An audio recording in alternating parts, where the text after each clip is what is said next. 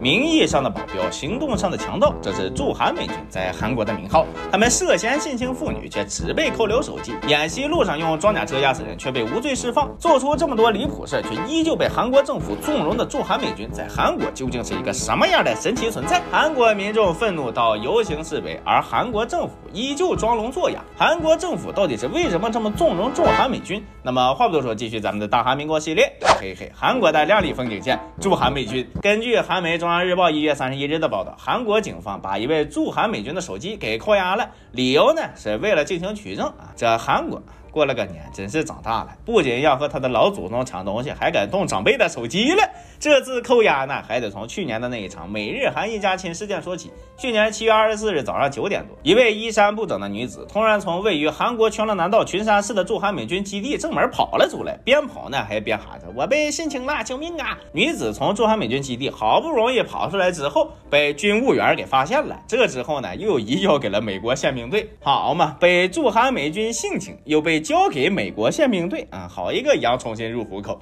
姑娘都喊这么大声了，虽然韩国是驻韩美军的老巢，但是警方不介入一下子，多少显得对人家受害者不尊重了。经过一番不怎么缜密的调查之后呢，韩国警方给出了他们的解释，就说这位受到伤害的女子呢，是在事发前一天晚上进入的美军基地宿舍区的，对她实施侵害的嫌犯隶属于美军第八战斗飞行团。至于这个女子是怎么进去的，嫌犯的具体军衔和年龄，韩国警方都没有进行解释一以及公布。而这次事件的嫌犯则坚称是和受害女子提前商量好的，但是受害女子却声称是在醉酒后意识不清的状态下被性侵的。而韩国警方呢，则认为受害女子的陈述内容可信度比较高，所以虽然不是很理解意识不清和可信度很高是怎么挂钩的，韩国警方依旧把这件事情移交给了检方，把美军给告了啊，属于是以怒告主了。毕竟自古以来他也没有说谁在自家殖民地成为被告的先例呀。不过呢，韩国警察就算是把美军给告上法庭，韩国也没有办法对驻韩美军实行审判，最后还是得乖乖的移交给美国，因为韩国这个国家的级别它是不够审问这些驻韩美军的。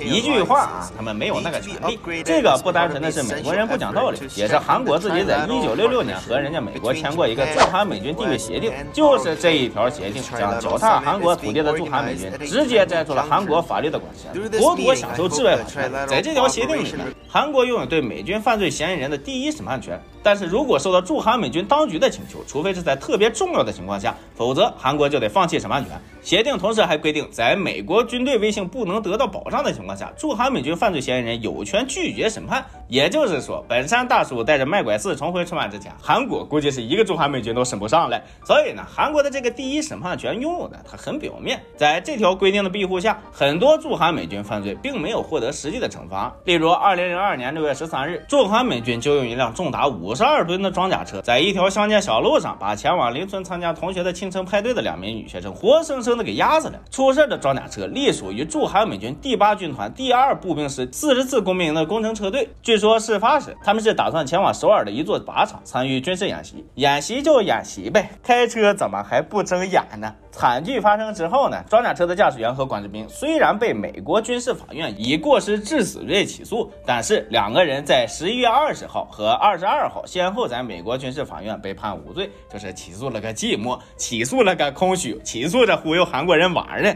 韩国人民呢表示很愤怒，思密达。可是即使他们在十二月的时候搞了一场游行示威，但是也依然没有改变这两个驻韩美军没有受到实际惩罚的现实。不过这次示威游行呢，还是有意外收获的，那就是驻韩美军地位协定又重新修改了一下，产生了小甲鱼的臀部新规定。韩国警方以后对杀人、强奸、贩毒、殴打、致死等十二种恶性犯罪的嫌疑人，在实施逮捕时可以持续拘留，而不必先交给驻韩美军，属于是无心插柳柳成荫了。虽然还没有审判权，但是相比于之前。前来说还是进步了那么一点点的。作为人家的半个殖民地，就是得学会在正确的时候、正确的方向唯唯诺诺。毕竟想要重拳出击，也得现实条件允许呀。首先，人家美国手里的各种重武器就不答应这事。其次呢，也是最主要的，韩国作为一个看似独立的国家，虽然平时可以单独行使作战权，但是他们的军队指挥权实际上还在人家美国手里呢。当初朝鲜战争爆发的时候，韩国出于对自己有足够的清晰认知，以美国为主的联合军一来，当时的韩国总统李承晚就直接与美军司令麦克阿瑟签署了大田协定，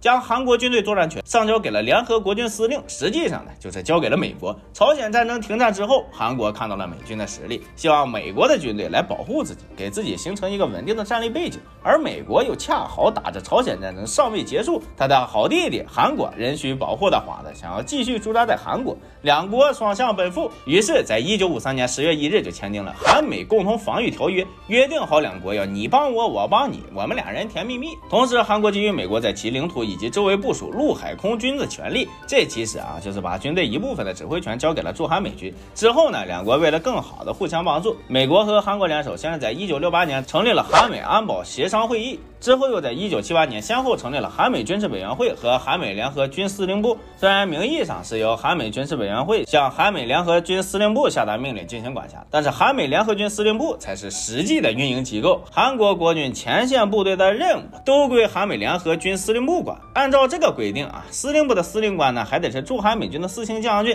韩国的四星将军最多只能当个副司令官，所以军队的指挥权还是在人家美国手里的。军队的指挥权就像泼出去的水，韩国现在想收都毫无办法。现在韩国方面想要调动军队，则是备受限制。比如韩国的空军想要使用他们的 F 三五 A 战斗机的话，必须得经过驻韩美军的同意，而且韩国的空军对这架飞机进行日常维护，还需要每天早上从美军那儿获得十六位数据链密码才可以。可以说啊，没有美军的批准，就算是韩国空军的总司令他来了，这架战斗机也开不走。所以韩国对于驻韩美军在自己家里的胡作非为。是既不能抓也不敢抓，他们现在呢也算是搬起石头砸自己的脚了。韩国与美国同流合污，还把自己国家的安全保卫工作交给别人，妄图将自己的国力变得更强大，结果却混得把自己的国家军队指挥权都给混没了。好一个独立的亚洲发达国家呀！殊不知啊，靠山山会倒，靠人人会跑，自己发展那才是硬道理。一味的当附属国，最后只会失去的更多。行了，快乐时光总是短暂，希望大家喜欢的话能给个点赞、收藏、关注、转发，咱们下期大韩民国。